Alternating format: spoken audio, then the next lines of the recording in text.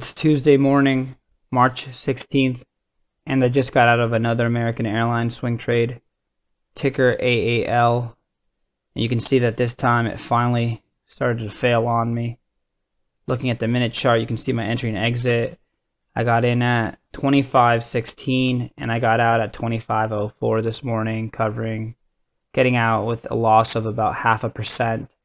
And then profit taken, I lost around a thousand dollars, so not too bad considering I made over sixteen thousand dollars this last week and a half.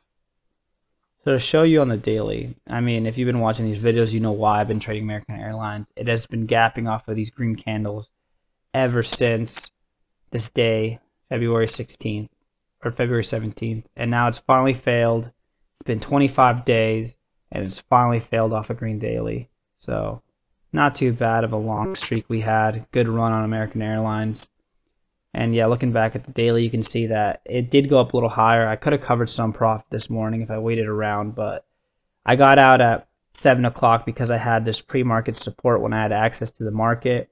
And at 25.05, when I saw it failing here, I just decided to take that little loss and not risk losing big profit this morning.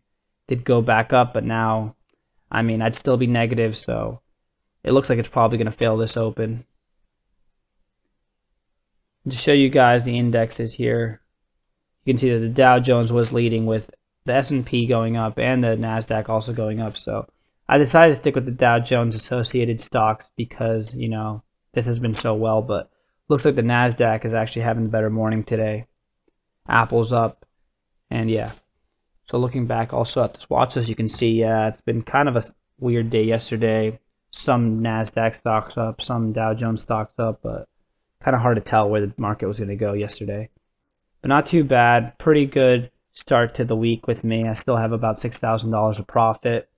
And yeah, if you want to learn how to swing trade these stocks, make tons of money, just follow along and I'll keep posting.